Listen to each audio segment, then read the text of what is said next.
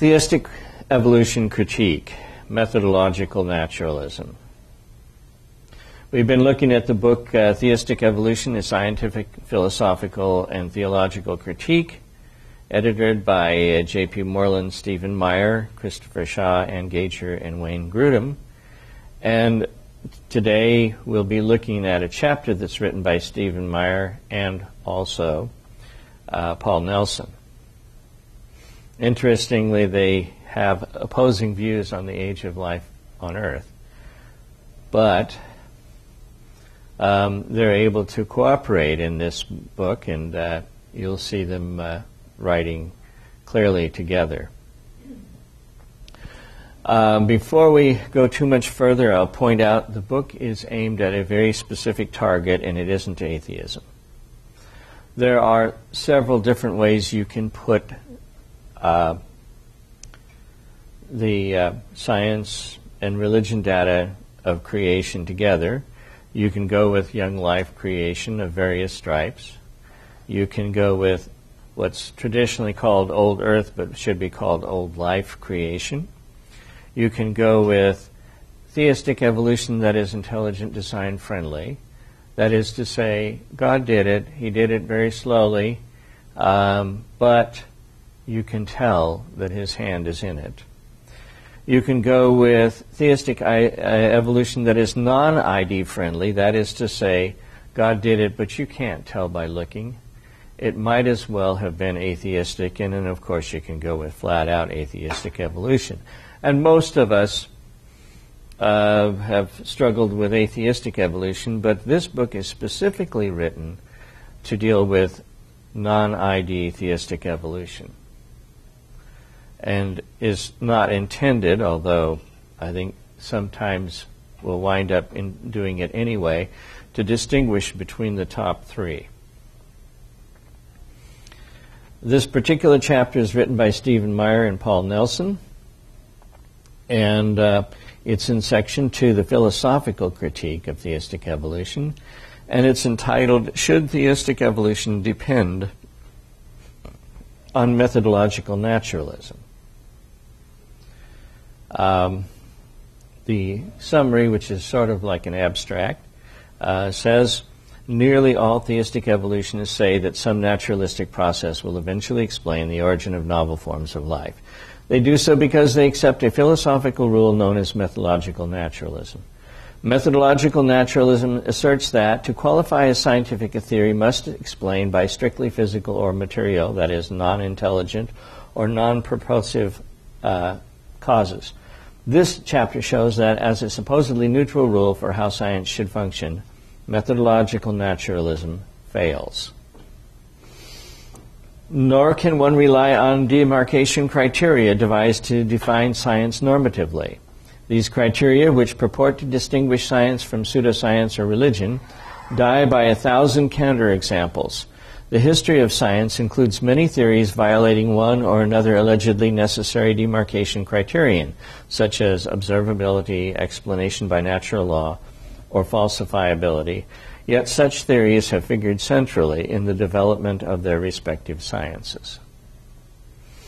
Moreover, demarcation criteria cannot justify methodological naturalism itself.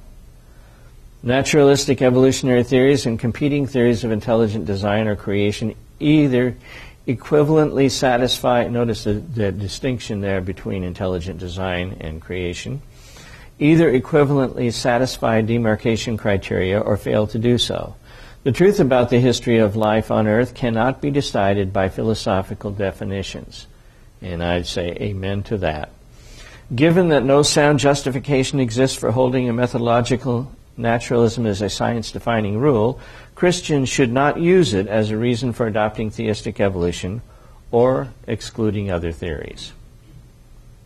And that's the summary.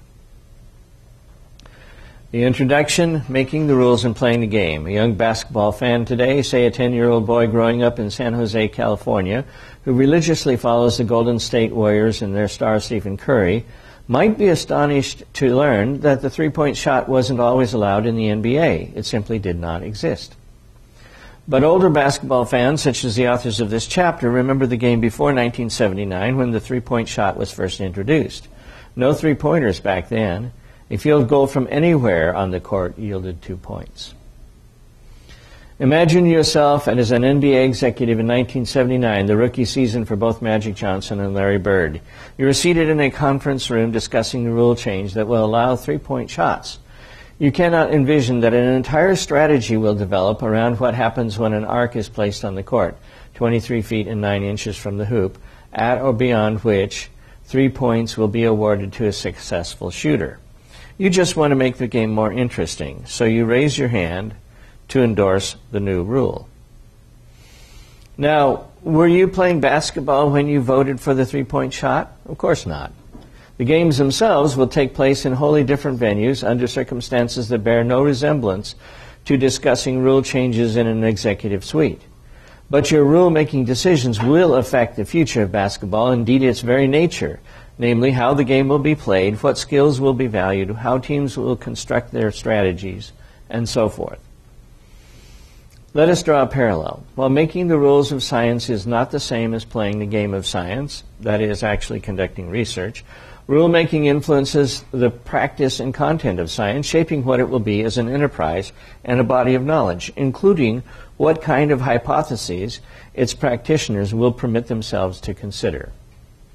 Science is something we humans invent and do. It has not been delivered to us, and we devise its rules, methods, and conventions. Moreover, the rules of science can change because, over the course of history, they have changed. But when might a rule need to be changed? In sports, rule changes usually occur when the quality of competition has stagnated or declined. Science is not a game in that exact sense, of course, but metrics of the success or failure of scientific theories exist, and we can ask the same questions at a deeper level about scientific methodology itself. Science should be interested in determining the truth, writes Caltech physicist Sean Carroll, who, by the way, is an atheist as far as I know whatever that truth may be, natural, supernatural, or otherwise. If truth is the ultimate goal of scientific investigation, then any rule that may, may keep us from reaching that goal needs to the closest critical scrutiny. In this chapter, we shall argue that historical biology, the science concerned with explaining how living things came to be, is long overdue for just such a rule change. More than 150 years after the publication of The Origin of Species, evolutionary theory has stalled out. As the preceding section of this book demonstrates, neither standard neo Darwinian theory nor any of the other strictly materialistic theories of evolution recently proposed to supplement or replace it can explain the novel, uh, the origins of novel biological form. And yet, that was supposed to be evolutionary theory's main job. Many theistic evolutionists readily admit this. Biologist Darrell Falk, for example, the past president and currently senior scholar at Biologos, a group promoting theistic evolution, acknowledges that neo Darwinian mechanisms cannot explain the major changes and innovations in the history of life.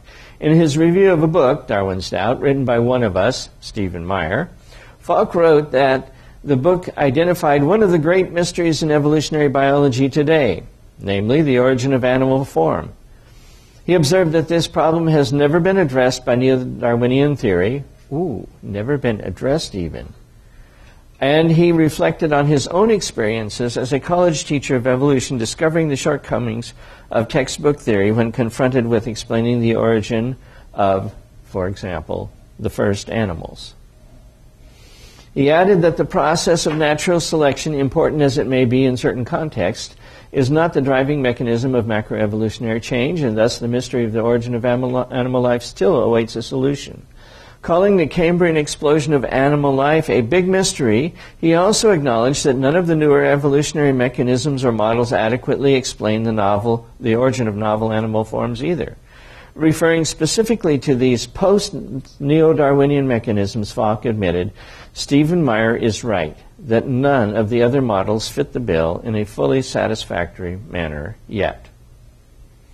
Yet, despite these candid admissions, Falk remains fully committed to some form of theistic evolution. Why?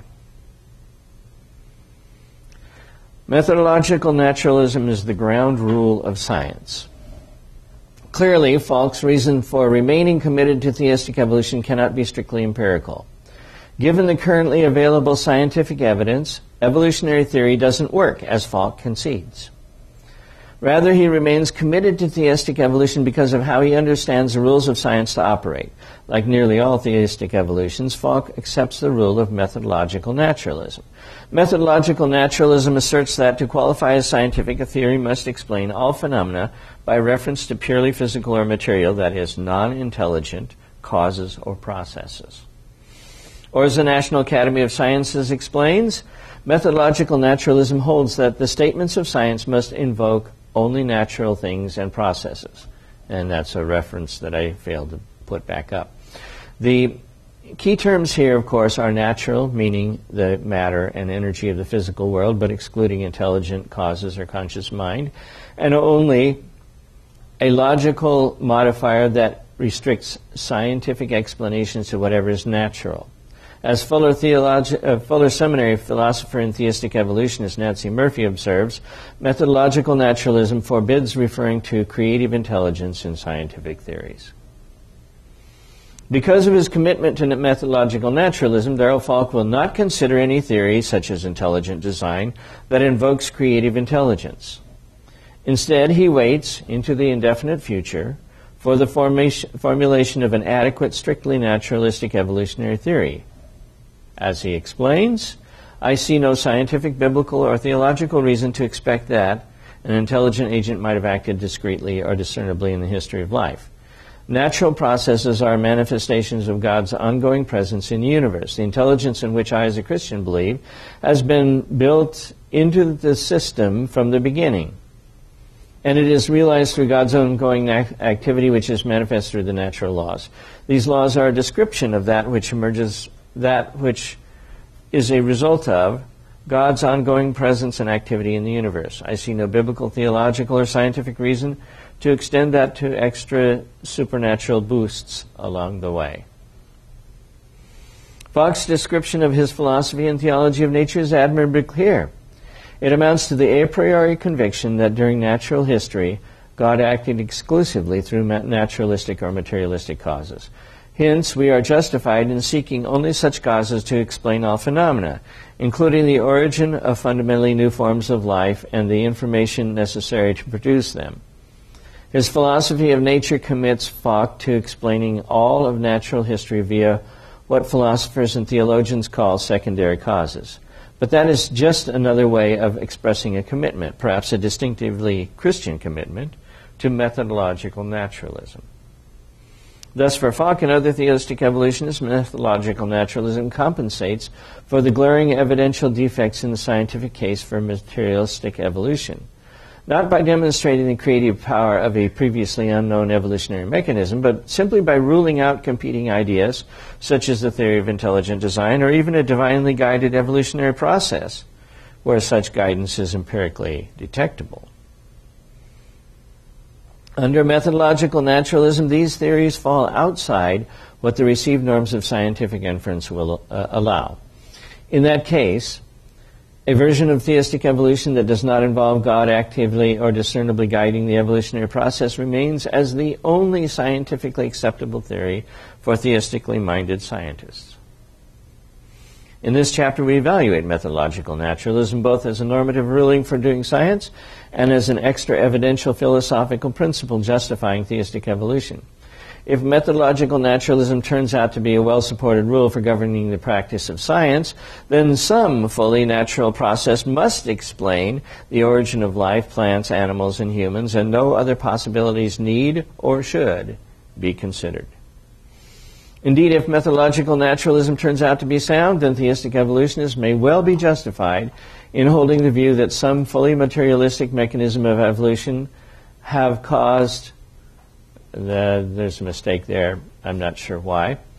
Ha- have caused new forms of life, even if evidence for the necessary creative power of knowing evolutionary mechanisms is currently lacking. If methodological naturalism is unsound, however, theistic evolution as a theory will need to stand on its own two feet, without any philosophical buttressing. Then, as we evaluate evolutionary theory without the protective philosophical armature of methodological naturalism, we may have to accept that there is no evidence showing that undirected evolutionary mechanisms have the creative power to produce new forms of life, as in fact we saw in chapters 1 through 9. In that case, scientists may wish to consider the possibility that a designing or creative intelligence played a discernible and causal role in the history of life, and that such a theory may provide a better explanation than materialistic theories for the origin of biological form and information. After all, shouldn't the evidence, rather than an abstract rule like methodological naturalism, decide the outcome of a scientific investigation? Why methodological naturalism? So, why have so many scientists, including many Christians, accepted that scientific explanations must involve only natural things and processes? Perhaps they are merely following the established conventions of the disciplines out of respect for the customary rules and practices of science as those rules have come down to them through his, throughout history. As Nancey Murphy explains, most scientists accept methodological naturalism as an unobjectionable convention because seeking natural causes is just what science does. Science, qua science, seeks naturalistic explanations for all natural uh, processes. Christians and atheists alike must pursue scientific questions in our era without invoking a creator. Anyone who attributes the characteristics of living things to creative intelligence has by definition stepped into the arena of either metaphysics or theology. Yet, what determined the placement of the boundary line? For Murphy, the boundary we have today, which, as she notes, excludes creative intelligence or intelligent causation, is just the boundary that we were given by history. For better or worse, we have inherited a view of science as methodologically atheistic. Historical inertia, however, to give the inherited rules view a name, hardly justifies the methodolo- methodological naturalism if we recall that the goal of science is truth. If methodological naturalism were only this type of historically contingent convention, scientists, scientists seeking true explanations could ignore the rule, especially if they believe the evidence is best explained by intelligent rather than by strictly material causes. The search for truth should override any custom or convention. Most defenders of methodological naturalism, however, insist that the rule is more than merely an arbitrary convention or the product of historical inertia. Instead, they insist that methodological naturalism is supported by sound methodological principles, by independently by independent and objective criteria of proper scientific methodology, or what are known as demarcation criteria. Demarcation criteria, such as the idea that scientific theories, one, must be based on observable data, and or must be testable or falsifiable, and or three, must offer explanations based on natural law, purport to distinguish genuine science from pseudoscience, metaphysics, or religion. Ariel, you probably remember these criteria. Defenders of methodological naturalism assert that only a fully naturalistic or materialistic approach to scientific inquiry and explanation allows scientists to meet these standards of good scientific practice. Conversely, they argue that non materialistic or design based theories that do invoke creative intelligence do not meet these criteria or standards of method and thus do not qualify as genuine scientific theories or explanations. So let us look closely at these demarcation criteria. Do they provide what is needed, namely a principled philosophical or methodological reason for supporting methodological naturalism? Do the criteria enable scientists or philosophers to define the practice of science in a normative way? Do the criteria justifiably exclude a priori some theories as unscientific or pseudoscientific, that is, irrespective of what the, of what the evidence may show? Wherever you see green ellipses, those are where I'm omitting material from the book. Four, a conversation about methodological naturalism and what wasn't said. On rare occasions in the life of a student, something so significant happens in conversation with an older mentor or scholar that the episode determines the future thinking of that student. Such a conversation happened to one of us, Paul Nelson, in October 1983 while he was still an undergraduate studying the philosophy of science and evolutionary biology at the University of Pittsburgh. The episode, a discussion about methodological naturalism with the distinguished historian of science Ronald Numbers, as some of you may know, is worth recounting, and it illuminates the central problem with methodological naturalism, in particular with methodological naturalism's putatively objective standing as a ground rule for science. Numbers is a professor of the history of science at the University of Wisconsin and one of the world's leading scholars on the relationship of science and religion. In 1983, he received a fellowship from the Guggenheim Foundation to write a history of American creationism. He had learned that Paul possessed some historically valuable co- correspondence and papers belonging to his grandfather, Byron C. Nelson, an influential t- early 20th century creationist. At the time, Paul was preparing to write his senior thesis in the philosophy of science on the topic of intelligent design in biology. For Darwin, design was not only a live possibility, but represented the central target of his one log argument in The Origin of Species. In other words, design might have been true. I can entertain no doubts, wrote Darwin, that the view which most naturalists entertain, and which I formerly entertained, namely that each species has been independently created is erroneous. But whatever can be false, erroneous in Darwin's words, could by logical symmetry also be true. The evidence should decide, except that methodological naturalism says otherwise. Never mind the evidence, design categorically may not be considered as an empirical possibility. The statements of science as a national academy must invoke only natural things and processes regardless of the evidence. Over lunch, Paul presented this philosophical incongruity to numbers. Methodological naturalism seemed arbitrary at best, Paul said. If design can be false, as Darwin argued, then it might also be true. Whatever philosophy of science we adopt, therefore, should, be al- should allow for both possibilities, letting the evidence determine the outcome, right? Without looking up from his food, Numbers nodded his agreement, but only with the possibility of intelligent design. Of course, intelligent design is possible, he replied, but that isn't the issue. Look, he went on, why is it that in baseball, when one hits the ball outside of the first or third base lines, that is, a foul ball, one cannot run to first base? baseball has its rules, he said, answering his own question. So does science. Since the rise to dominance of scientific materialism in the 19th century, the, rule of science, the rules of science have included methodological naturalism. That may strike you as unfair, numbers acknowledged, but that is how the game of science has been played for a long time now, and it's not going to change. If you want to participate, follow the rules, or find another game.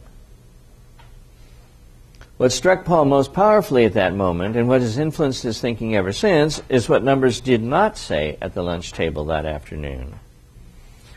Demarcation criteria work, except when they don't. Numbers did not support methodological naturalism by appealing to any of the familiar and supposedly neutral methodological criteria used to define or demarcate science, such as observability, uh, testability, falsifiability, or ex- explanation by reference to natural law. He didn't even try. And there are good reasons for that. Historians and philosophers of science have long known that attempts to define science by reference to abstract demarcation criteria have failed. In particular, the attempt to define science normatively by such criteria has inevitably died by a thousand counterexamples. Many highly esteemed theories lack some of the allegedly necessary features of science. Demarcation criteria typically either exclude too much already established science for instance, forcing one to disqualify as scientific major works in the development of physics, like Newton's Principia and his Optics, both of which carry significant theological content, and fail to meet specific demarcation criteria, see below, or inadvertently to cut the legs out from under current research fields generally regarded as scientific, such as cosmology, theoretical physics, historical geology, psychology, or even evolutionary biology itself. The failure of demarcation criteria became a public issue in the immediate wake of a famous court trial that was decided shortly before Nelson's conversation with numbers. In January 1982, federal judge William Overton overturned an Arkansas law um, requiring the teaching of creationism alongside evolution in the Arkansas public schools.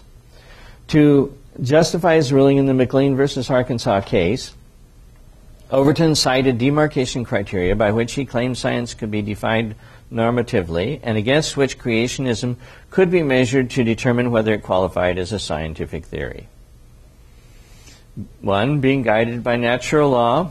You've seen these before, haven't you? Explaining by reference to natural law. Three, being testable against the empirical world. And four, being falsifiable.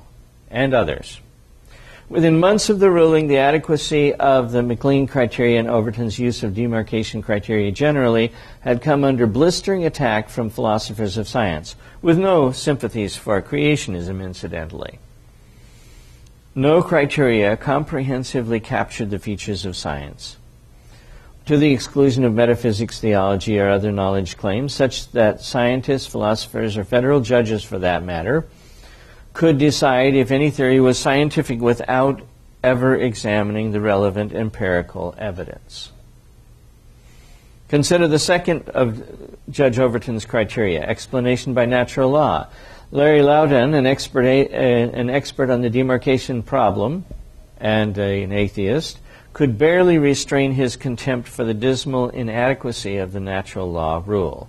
To suggest, as the McLean opinion does repeatedly, that an existence claims is unscientific until we have found the laws on which the alleged phenomenon depends is simply outrageous. Galileo and Newton took themselves to have established the existence of gravitational phenomena long before anyone was able to give a causal explanatory account of gravitation. Darwin took himself to have established the existence of natural selection almost a half a century before geneticists were able to lay out the laws of heredity on which natural selection depended. If we took the McLean opinion criterion seriously, we should have to say that Newton and Darwin were unscientific. And to take an example from our own time, it would follow that plate tectonics is unscientific because we have not yet identified the laws of physics and chemistry which account for the dynamics of crustal motion.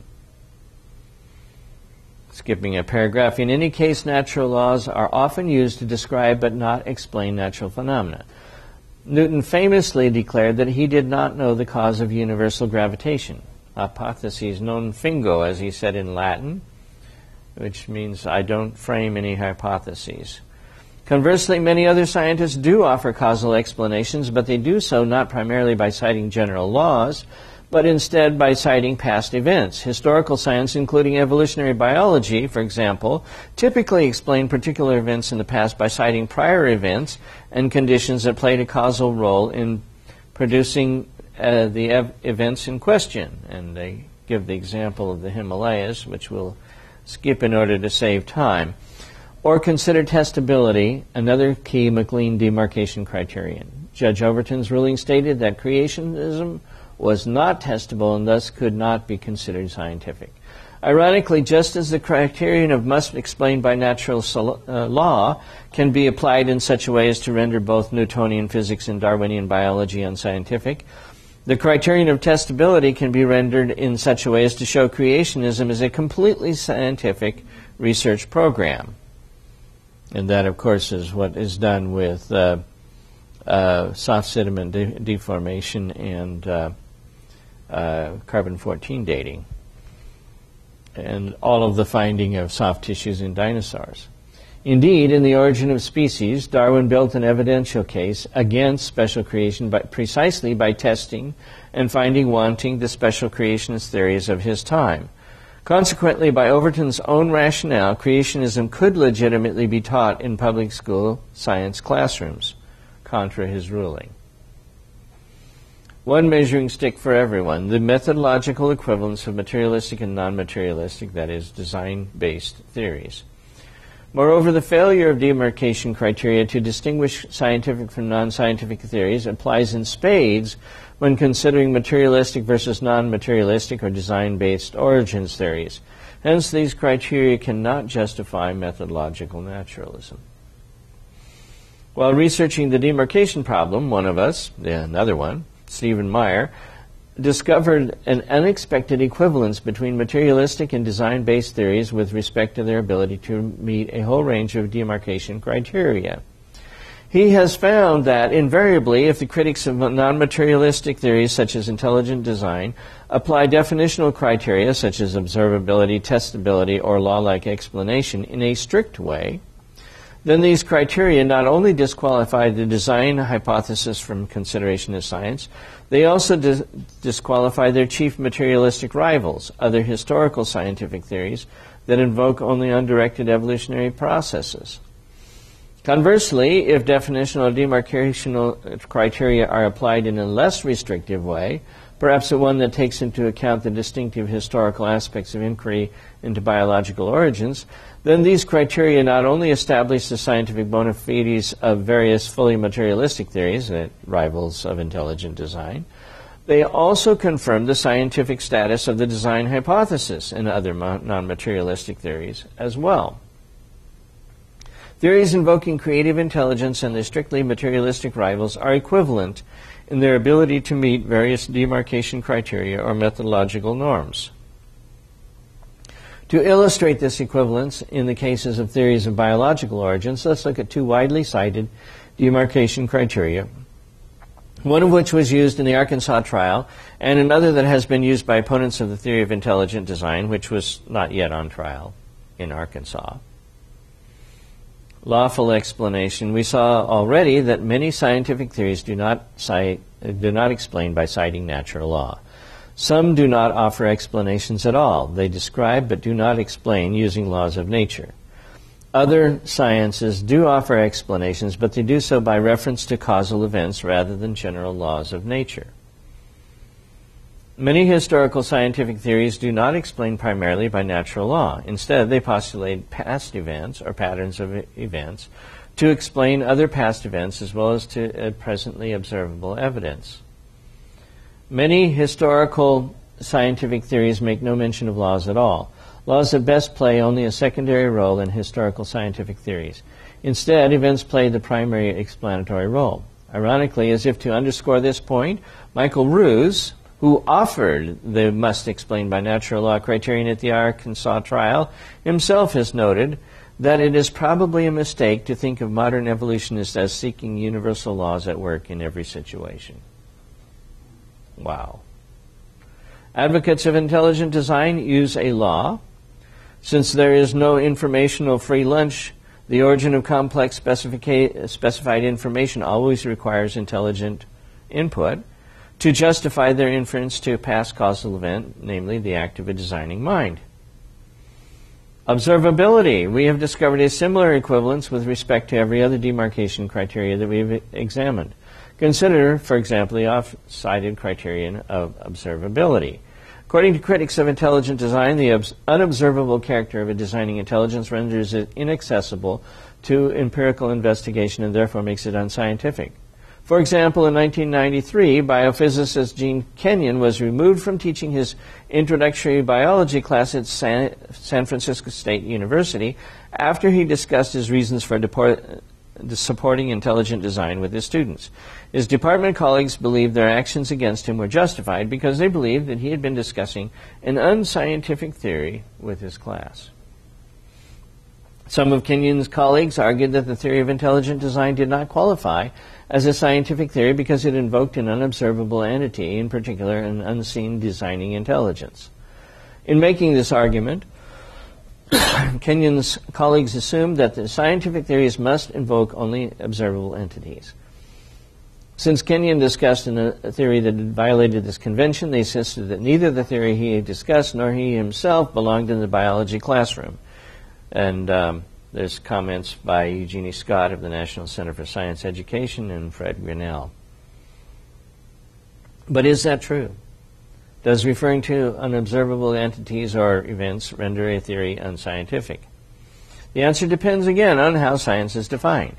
If sciences, scientists and all other relevant parties decide to define science as an enterprise in which scientists can posit only observable entities or events in their theories, then clearly the theory of intelligent design would not qualify as a scientific theory. But this definition of science would render many other scientific theories, including many evolutionary theories of biological origin, unscientific by definition as well. Many scientific theories infer or postulate unobservable entities, causes, and events. Physical forces, electromagnetic or gravitational fields, atoms, quarks, past events, subsurface geological features, biomolecular structures, all are unobservable entities inferred from observable evidence. Materialistic evolutionary theories also infer or postulate past unobservable events. Theories of chemical evolution invoke past events as part of the scenarios they use to explain how the first living cells arose. Neo Darwinian biologists, for their part, have long defended the putatively unfalsifiable nature of their claims by reminding critics that many of the creative processes to which they refer occur at rates too slow to observe in the present and too fast to have been recorded in the fossil record. So they're not observable. Furthermore, the existence of many transitional and immediate forms of life are also unobservable. Skipping over a little bit, it has been said that behind every double standard lies a single hidden agenda. It takes only a smattering of philosophical training and even less historical sophistication to see that the flawed demarcation criteria cited in McLean had been specially contrived by the ACLU to try to discredit creationism. There is no philosophical shortcut to empirical truth. The permitted versus the possible. Science is an open-ended quest.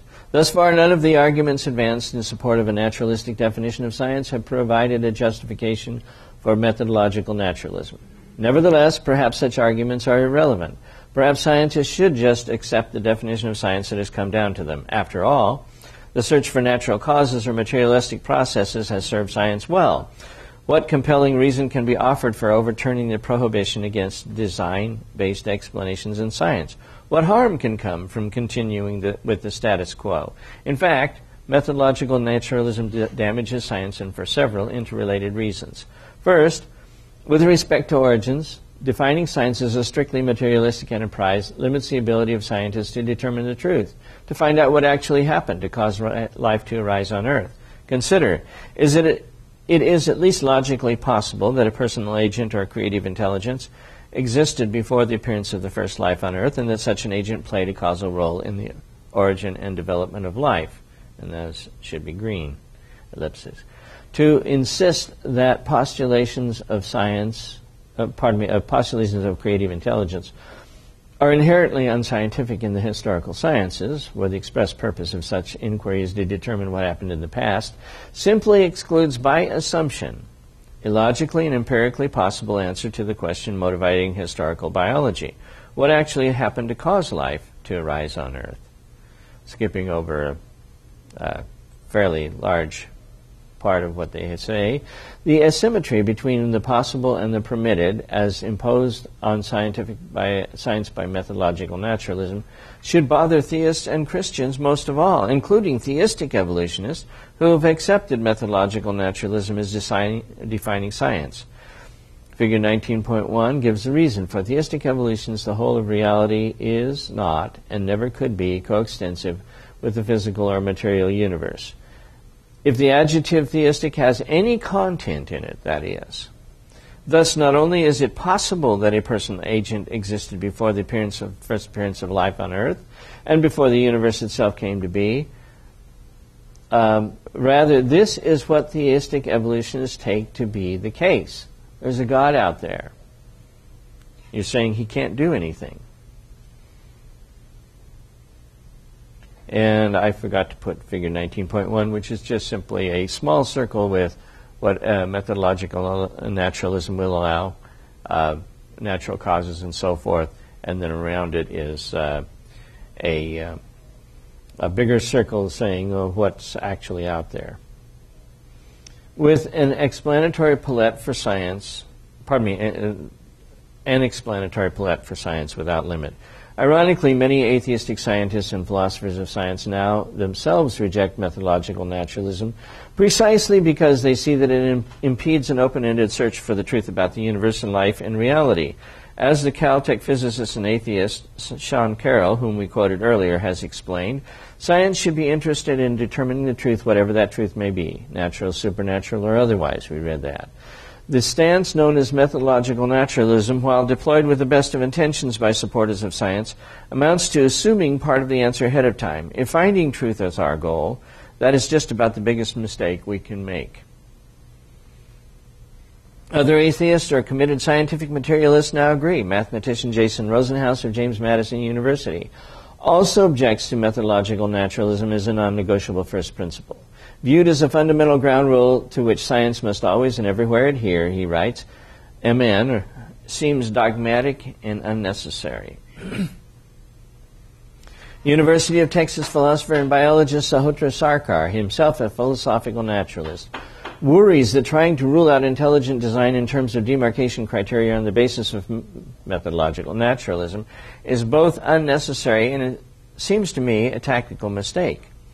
Lastly, Belgian philosopher of science and atheist Maarten Boudry, evaluating the status of methodological naturalism, argues that the most widespread view, which conceives of methodological naturalism as an intrinsic or self imposed limitation of science, is philosophically indefensible. but why would atheists and philosophical naturalism worry about methodological naturalism? It is clear from their writings that Carroll et al. want materialistic theories of evolution to have prevailed in a fair competition, winning their place in a science because these theories explain the data better than any design based competitors. As Sarkar stretches, uh, stresses, natural philosophy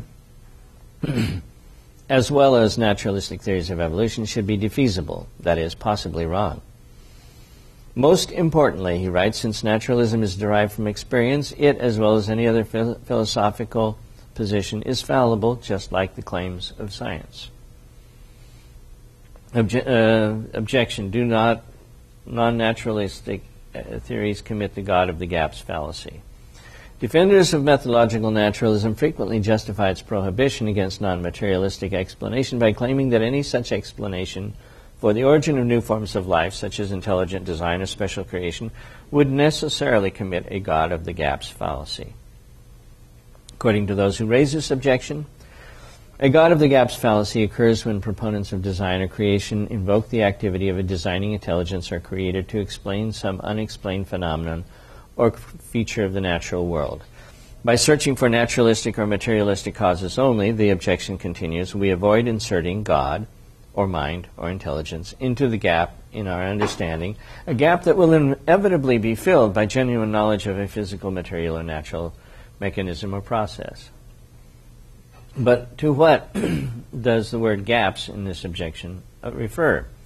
Imagine someone who mistakenly enters an art gallery expecting to find croissants on sale. That is, someone who thinks that the gallery is a fancy bakery where pastries and rolls are sold.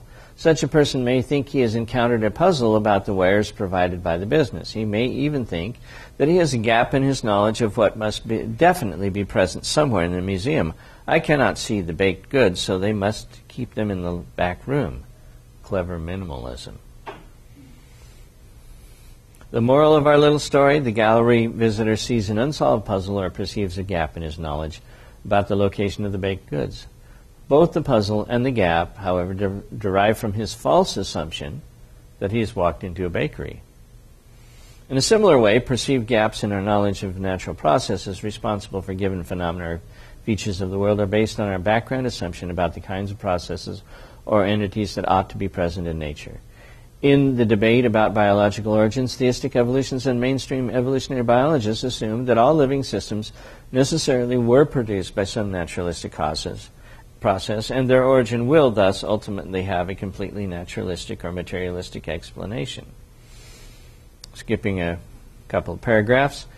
Theistic evolutionists use the God of the gaps objection to justify the claim that scientists should consider only materialistic evolutionary theories to explain the origin of new living forms. That is, they use it to justify methodological naturalism. Yet their use of the God of the Gaps objection to justify methodological naturalism ultimately begs the question why?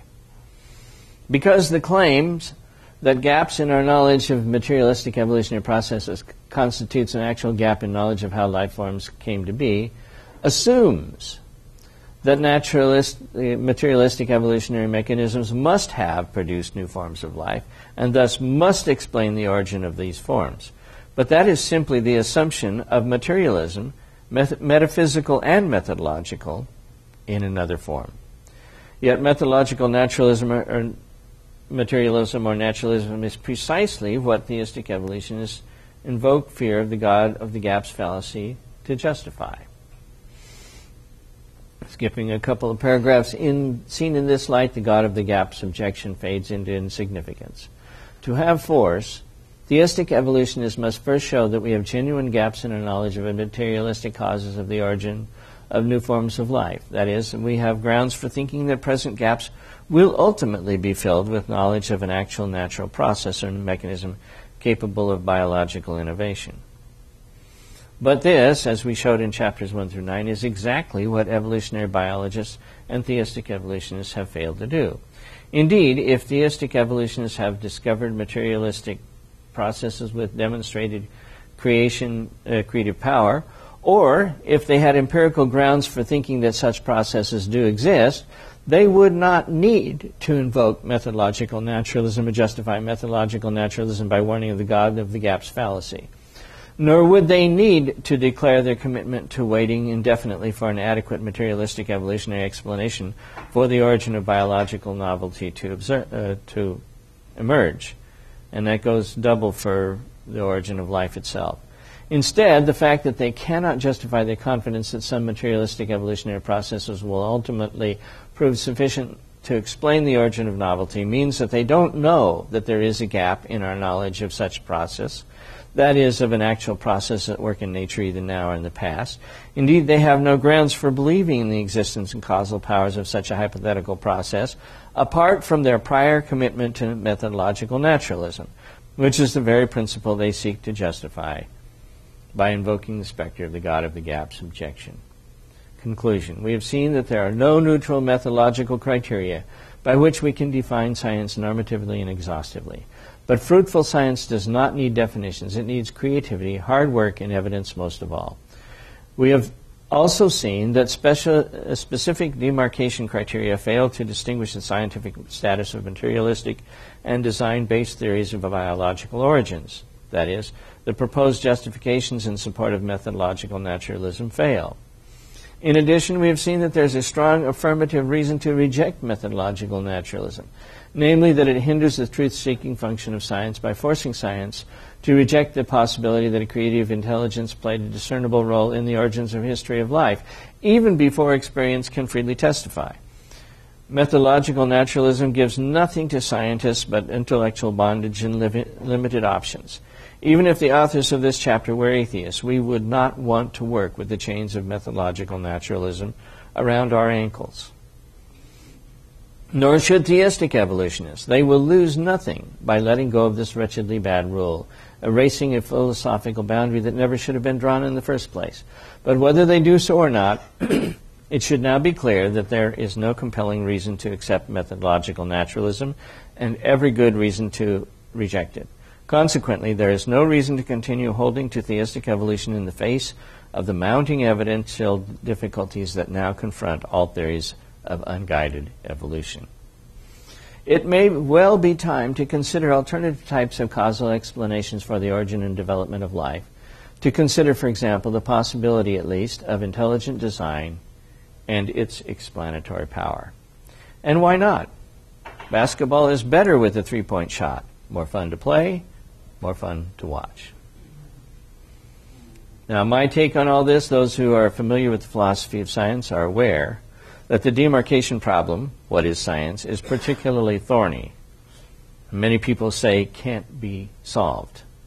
It does not make philosophical sense to try to rule out intelligent design by trying to prove it is not science when you can't even define science well. It also does not make philosophical uh, uh, sense, uh, that that's my mistake, to assume naturalism is true and use that assumption to rule out the supernatural. That is why the term methodological naturalism was invented. It was supposed to be neutral philosophically, but insisting on methodological naturalism is precisely philosophical naturalism. Ruling out God of the gaps argument is only fair if one knows there is no God or that God will not interfere, which makes ruling out those arguments circular. But that's my opinion. Now it's your turn.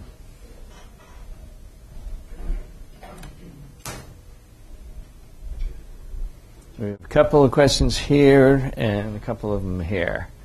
Um, why don't we pass that back? Just a historic incident. When I became pastor of the Madison, Wisconsin church, and my wife was working on her doctorate at the university, Ron Numbers was there as well. He issued a public challenge to any creationists that he would debate and demolish them.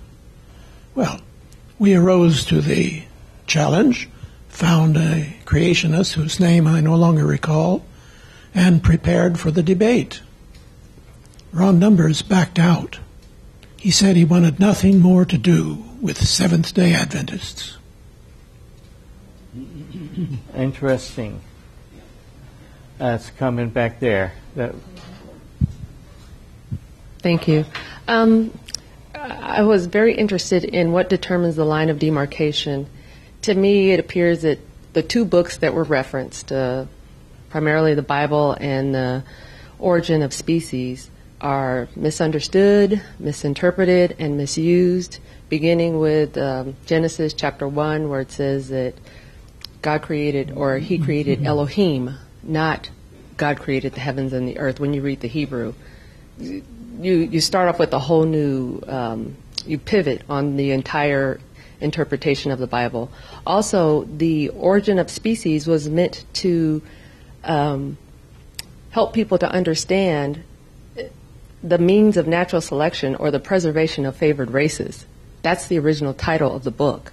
The title was changed to help it to help more people to accept the concept that he was actually trying to convey. So the misuse of the Bible, the misuse of this book, not as bad as the misinterpretation of the information that's inside of each book. The misinterpretation of what's inside of the Bible, when you read the Hebrew, starts off with, We don't know the age of the earth, don't argue over it. We don't know the origins of many things, but we know that our Father created the heavens and the earth, but there was destruction. And then there was the creation of Adam and Eve. So he recreated the heavens and the earth so that they were habitable for us. Just so many other things to consider. The, the discussion actually doesn't center around that particular point, though. Um, what they're asking is can God intervene in nature or do things differently than he usually does, or however you want to phrase that? Um, and that's the real question. And methodological naturalism says we have to do science as if he doesn't. And philosophical naturalism says he doesn't because he doesn't exist. Theistic evolution that is non ID friendly says he doesn't because he can't interfere mm-hmm. in the laws he already created. And those are reasonable positions to start with, but then you have to start explaining data. And to rule out the idea that he does before you even look at the data is really allowing philosophy to override the evidence. And that's really what these people are talking about. One of them believes that there's been a long time uh, before uh, the biblical story of Adam and Eve. Another one believes there's been perhaps six days or five days, whatever it comes out to be, uh, before the story of Adam and Eve. But they both understand that philosophical point, and that is that that God can intervene in nature. And really, that principle, if I can put it that way, basically tries to make science safe for atheism. And I don't think that's the function of scientific rules. Comment over here. I think there are a couple of them here. Yeah, I, just might add to the comment about Ron Numbers. He used to be a member of the faculty here at this university. Uh, the uh, there's very little to argue against in this in this presentation here. It's uh, uh you know I tend to agree with almost everything there. I uh, I wonder a little bit uh, obviously uh, materialistic observation period is very uninteresting. You just have a few facts, and you can't you can't speculate because well, that's you're out of observation. Uh, very dull science if you're just counting uh, uh, leaves on a tree and you can't say anything about it. Uh, and so most science, uh, you know, they don't follow material, materialistic naturalism. It's uh, they, they, go beyond that, uh, and that's what makes science interesting. Uh, but uh, so you open the door, and then you start dealing with uh, animism, for instance, ideas you know that people have uh, about objects and uh, impart various ideas to, to that, which is, you know, uh, uh opening the door of materialism, uh, uh, naturalistic materialism, and so on. So you ideas that, well, I might even get into one more controversial there was no death before uh, sin on the earth. We'll come to that in this book, which is uh, interesting. Uh, okay. Uh, and uh, so on, uh, ideas that certain genes in jellyfish can improve your brain, this type of thing how do we deal, once we open that door, how do we deal with uh, controlling uh, rampant speculation against truth? Uh, that's something you need to watch here once you've opened that door. Now, the scientists claim that they've kept that door closed and they're deceiving themselves. This is not the case at all. But uh, it is something that you need to watch uh, as you uh, open this door that uh, you uh, not have rampant speculation. Um, metaphysical ideas and so on uh, can go very wild, and uh, it seems to me that you I, uh, well, you tend to come back to more solid facts uh, than, uh, at least uh, I would say for animism, I certainly uh, would like uh, more solid facts and so on. what is what is the game? It, certainly is not defining science by as material, naturalistic materials. That, that's not the game. What is the game for finding truth? Uh, and is it? I tend to I think we, we, we fall back on observation. Rather, uh, I, I tend to fall back on observation as as, as the game, uh, because that data seems that seems more reliable, more consistent than rampant speculation, uh, metaphysical speculation, and so on. Uh, uh, I like some consistency. Anyway, that's, that's, I'm just speculating here.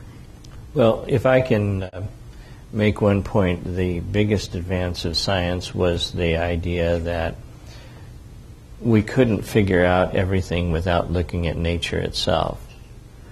God had freedom to make nature any way He wanted to, which means if you want to find out what the universe is really like, you have to look at the universe. And I think that's the uh, single most important uh, foundation of science. And uh, the corollary to that is observation trumps theory. And what that means for an idea like mythological naturalism is that unless you can establish it by observation, the observation trumps that theory.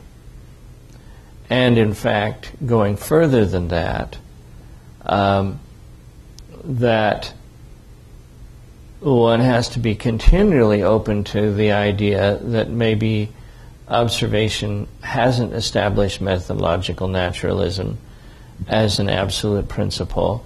And so, while I think it's a kind of a general rule that's that's not uh, not bad, a rule of thumb, if you want to call it that, you know, when we first hear a phenomenon, we don't think of uh, supernatural events to begin with. I think that at a certain point, when one has ruled out enough uh, natural causes, that one one may start to think that maybe this is an area where the supernatural has intervened. And uh, you know, if you have a man's body that disappeared, and everybody says they see they've seen him walking around and talking, and it's really him, uh, then at some point it it it starts to be reasonable to say maybe he was resurrected.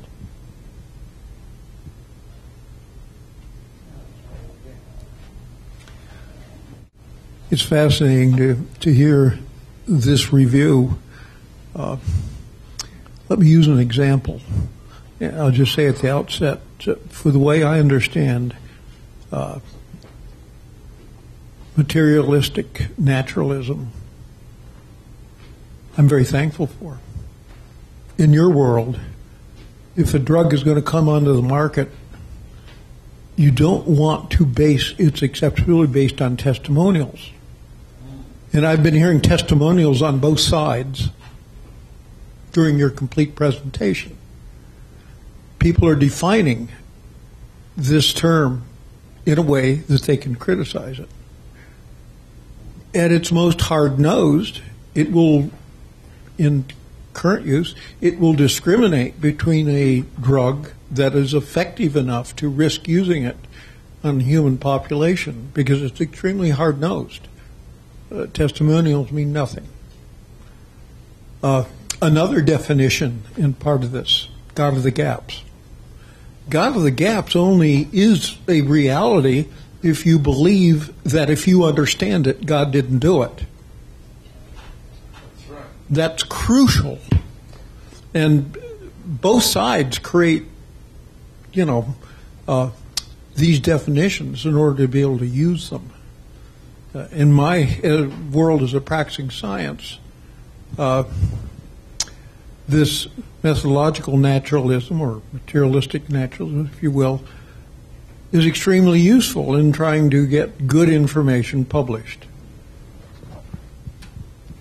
And I think in understanding that if you if you can't come to a clearly supportable objective conclusion based on your data, you have stepped outside of methodological naturalism using a really limited view of methodological naturalism means you have to go beyond it. Big deal. Well, one of the things that I'm thinking of is, um, you know, there are various uh, things that have been found. Uh, living organisms uh, in Permian material, uh, uh, dinosaur uh, bones that have apparent actual tissue still in them after supposedly millions of years. Um, and those th- those items have been judged by various biological and and uh, chemical criteria. Um, and the criteria that are, you know, the, the laboratory procedures assume that God isn't fooling us in our labs. And so, in one sense, they're being judged by methodologically natural, uh, naturalistic criteria. But on another, on another level, you can say, but we can test and see how long biological materials should last, and there's no reason to believe that they should last millions of years, let alone 65 million years. Same thing is true for carbon 14, for example. And if it's uh, you know if it's there but it's not supposed to be there, and both of those criteria, both of those conclusions are reached by um, by a procedure that allows methodological naturalism, then you have a conundrum. And the easy way to solve that conundrum is to simply say, well, maybe it isn't as old as it's cracked up to be. And so I see you know, methodological naturalism is something that is reasonable to assume as far as you can. But I think that there, there does come a breaking point, and when we get that breaking point, we should acknowledge it rather than trying to fight harder and harder. I think that the origin of life, for example, the the field is just horribly uh, confused um, there's really no good theory of the origin of life at this point. And I don't think that is anybody that really disputes that seriously. Precisely. And I, I would posit that uh, if all, everybody were using a really hard nosed version of mythological naturalism, they would be willing to say, uh, the, the evidence I have only goes so far. I've got to step beyond this to put it in a context that makes sense in yeah. whatever picture they're building.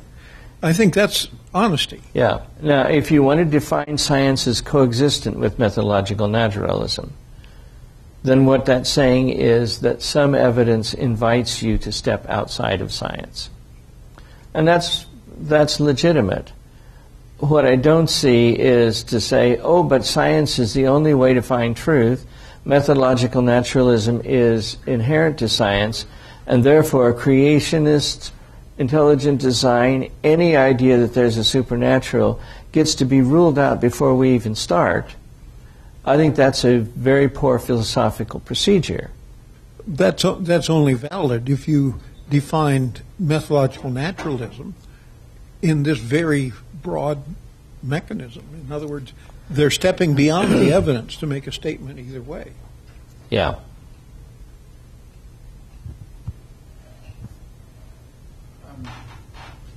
It occurs to me that while this discussion is dealing with intelligent design, it, it doesn't really. Um, it, it almost sounds as if it is trying to rule out all intelligence. But that would almost rule out the entire forensic science, for example, which is specifically uh, geared and oriented to working out who did it? And how was it done? And uh, who's responsible? And things, questions of that nature, all of which uh, we still consider very scientific. So, why is it that in that context, intelligence is admissible, but in other contexts, which we know far less about, it is not? Uh, it, it, it, it begins to be a bit of a puzzle. It's as if, uh, and here is the the, the really big conundrum when you think about the scant little bit of information available on the basis of which some forensic conclusions are drawn with a great deal of confidence. And compare that to the amount of information that is stored in the DNA of every cell's nucleus and asked a simple question how did that amount, that volume of information, that sheer enormity of information get there? And still speak of a lot of intelligence here and zero intelligence here. And consider oneself serious in this contemplation. I find this uh, practically preposterous. It's, it's as if one has to be a politician and not a scientist at all to be entertaining these kinds of concepts at the same time.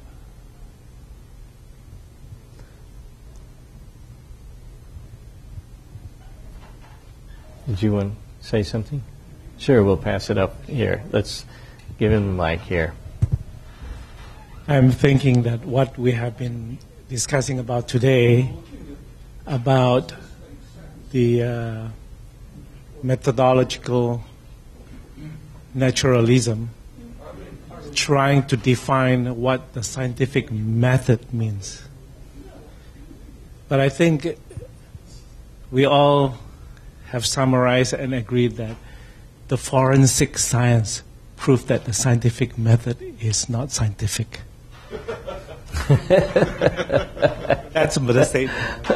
Well, uh, yes. The forensic science proved that the scientific method is, not, not, scientific. Uh, well, certainly not scientific in that sense. Uh, go, go you ahead. Did, you didn't understand that? Let me say that one more time. The, the forensic science proved that the scientific method is not scientific. Well, uh, what I would what I would rather say is that the that the forensic science proves that the way people use methodological naturalism is not really valid. Because once you have once you allow intelligence into some part of science, and I think forensic science is in fact science, then what it suggests is that naturalistic as opposed to intelligent causes cannot be the major dividing line. Uh, in fact, if I were to have to propose a criterion for science, I would say it is the study of the reproducible, and that allows for if if uh, if uh, a theological proposition can be shown to be reproducible, then what you have at that point is actually theology can be a science.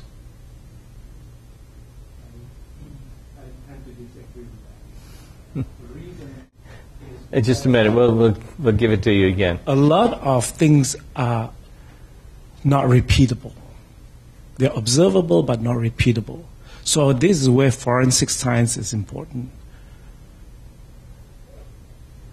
Well, that's The, the example of basketball would be a wonderful thing.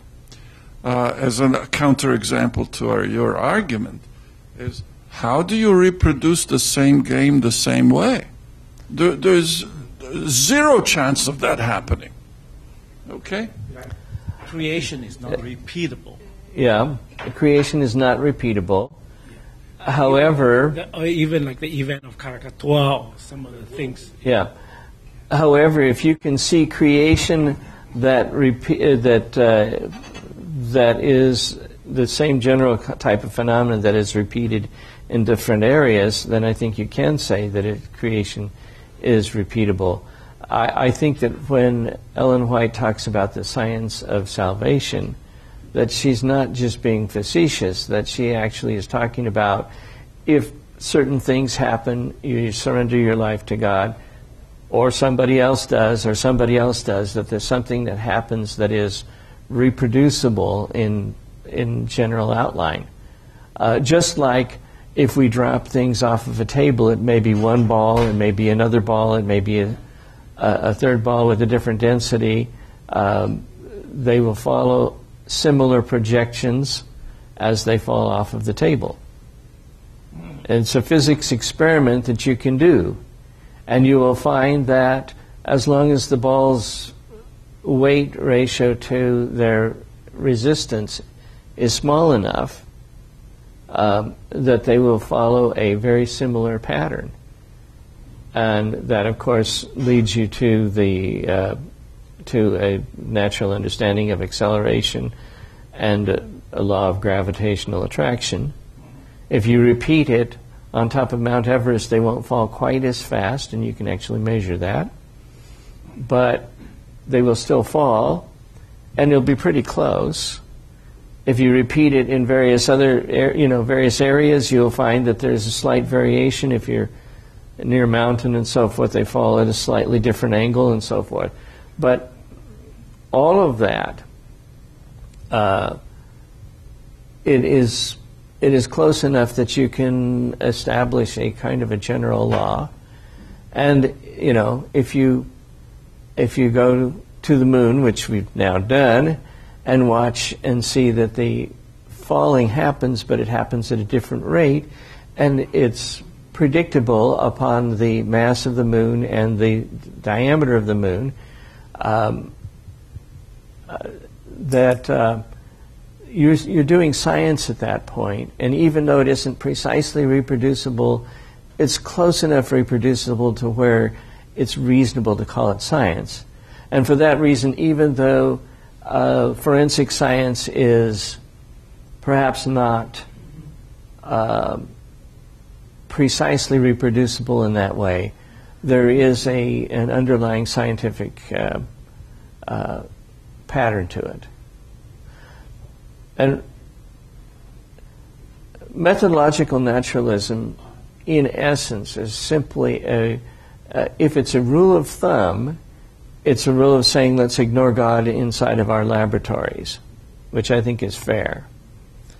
Um, if it's a, an absolute rule for every event in the universe, then it becomes philosophical naturalism, uh, in fact, if not in definition. And philosophical naturalism is simply the attempt to, or pardon me, methodological naturalism is if it's ad- adopted as an absolute rule, it's basically saying if you do science, you must make atheists comfortable. But the problem is the definition of science. See, if we inculcate that into our children in this classroom to say that that is the only science, uh, then the definition of the scientific method should be revisited. Yeah. Well, the you know the the definition that was taught way back when, and that I st- think still has merit is you make a hypothesis, you say what your hypothesis predicts, you go out and you test it, and then you revise your hypothesis depending on what the tests are, or maybe even throw it out, depending on how bad it is. Uh, and I think that that's that's the strength of science it's not that we use methodological naturalism, per se. And what's happened is that that strength of science has been kind of, if I can put it that way, hijacked to serve the purposes of excluding God from nature entirely. And I think that's wrong. Yes.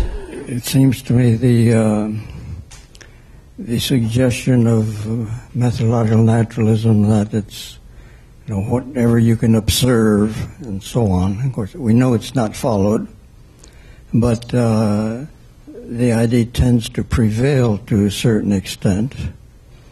And you can ask the question: Is that not an arbitrary level at which to define science? You could redefine science as you accept only that which you can smell. And uh, that would be an example of arbitrary definition. And I would say that methodological drew the line at a certain point, which tends to exclude God. Uh, nothing says that there's not truth beyond that. Uh, so that uh, it is a somewhat of an arbitrary line. It's a convenient one that gets rid of God. Uh, but it certainly is no criterion for finding truth. Well, if, if God exists and you have, and you say we're going to deal with something that doesn't include God, then um, obviously you're not uh, dealing with all of reality. Um, of course, scientism kind of likes to say that science is all there is, or at least all that is important that there is. Yes. Uh, as a non-scientist, uh, I am having a new enlightenment about methodolo- methodological naturalism today. Uh, it seems to me that all this business about the God of the gaps and how that's such a bad thing, uh, God of the gap, our methodological naturalism is just the flip side of that. I mean, whenever you come up against a thing that you don't know, understand, you just plug in your, your theory. And, and it's exactly the same thing. And how can, how can these two sides criticize each other? I don't understand that. Well, uh, some, sometimes that's been referred to as the evolution of the gaps, which uh, says that if you can't explain it on an evolutionary basis, well, just wait, it'll, it'll get here. And, and really, that's basically uh, the flip side of the God of the gaps. The question is if you don't have all the evidence available, then uh, are you going to assume that uh, some God did it, or are you going to assume that there's some natural process that can explain it? Um, and these people will say, well, you should assume that there's some natural process that can explain it. And that only works if either you know God doesn't exist or you know God wouldn't do that. And, you know, knowing God doesn't exist is a bit of a stretch. And knowing that God wouldn't do that, in, in my opinion, is even more of a stretch, especially when most of the people who do this would admit that, uh, that uh, Jesus was resurrected. So God does step into history. So why can't he step into prehistory? Yes. Whenever there is some kind of interaction between um, unequals, there is always um, lots of opportunity for plenty of misunderstanding and misconstruing and misinterpretation and such like. Um, the Old Testament is rife with it. Um, and when Israelites were going through the desert, they had the pillar of cloud by day and of fire by night, and yet they clamored at Moses as if it was Moses' fault that whatever happened, happened. They had repeated uprisings against Moses as if he's the one who's guiding the pillar of cloud or fire, either way. No amount of evidence was sufficient to dissuade them from their convictions in the matter. And no outcome was sufficient to change their view of things. Whether God Himself intervened and proved the matter or not, they still blame Moses. Isn't, isn't that an interesting observation? Mm-hmm. So the question, the question that arises in such circumstances is, why is that the case? We have similar situations sometimes as a conflict between student and mentor. Uh, and and you look at what's going on and and you think like so a mentor's patience is interpreted by student as he hasn't done enough for me. um,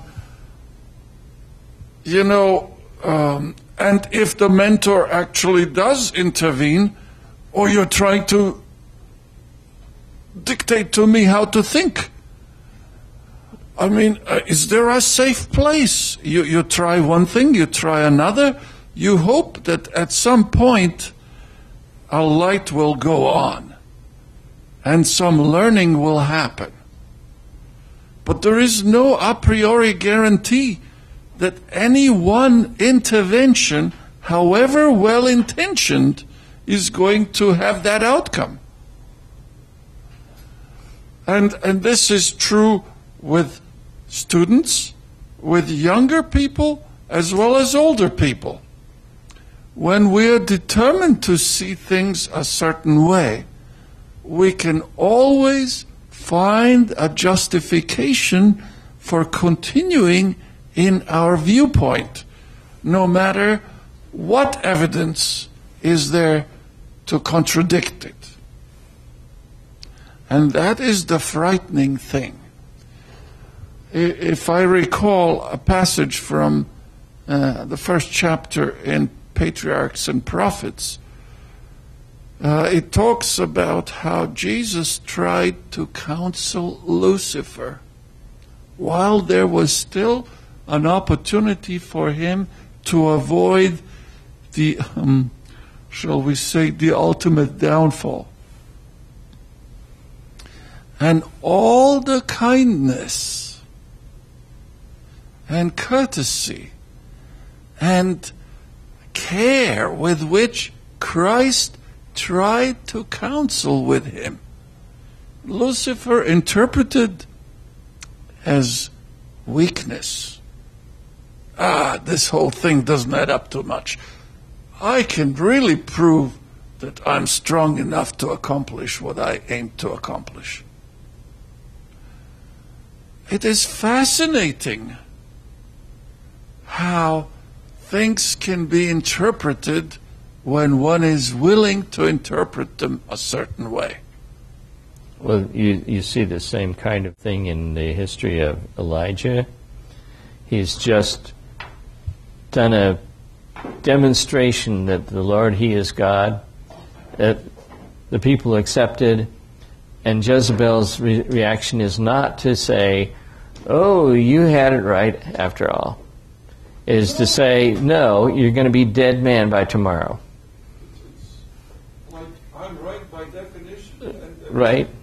And, and the same thing is true of Jesus and his resurrection the, the, the temple guard, and it was probably the temple guard, not actually Roman soldiers that made the guard, that guarded the tomb, because they reported to the high priest.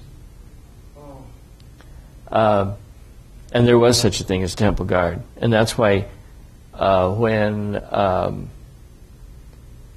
uh, Pilate said something that can be interpreted both ways, was probably best interpreted as you have a guard, make it safe as you can.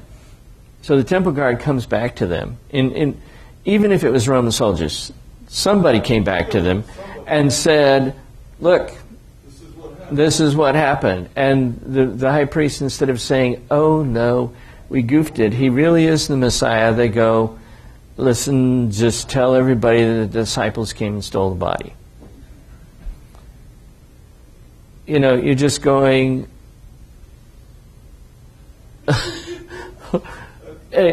obviously, these people are not about to let a few facts get in the way of their theory. And if there's anything that science has to say, it is that you'd better let the facts get in the way of your theory. That's right. That's the true science. Otherwise, you won't find the right theory. Yeah. So on the basis of that, Just a minute. Uh, let's get your comment because I can't hear it. I'm, I'm not quite as good a hearing as I used to be. So, so on the basis of that statement, does science have need of God? Does God have a place in science? If it's fact based, can we ever prove or disprove his existence? If we wish to continue learning,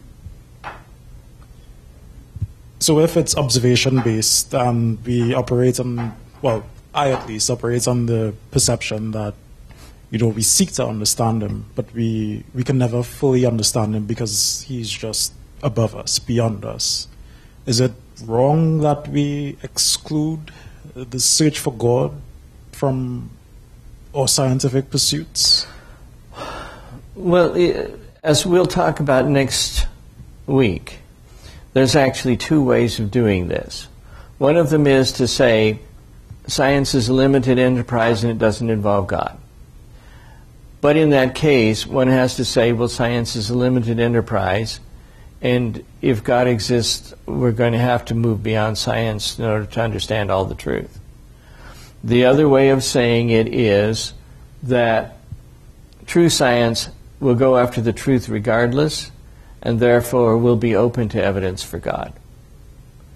Um, and either one of those will allow you to find truth, either admitting the limitations of science or defining science in such a way that it can, in fact, uh, interact with every other form of knowledge. In which case, uh, I personally prefer the the latter to say that science is not completely closed off from everything else.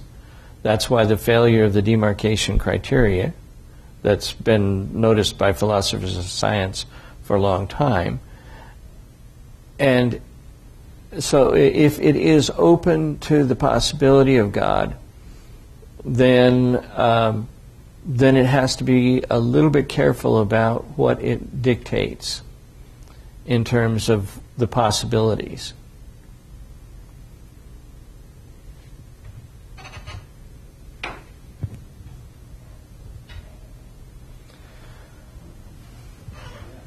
Well, I think that that's probably enough for today, and um, I'm going to encourage you to come back for next week for the uh, second part of this, where it will be approached in a slightly different uh, way, but uh, the names will change, but the entities will remain the same.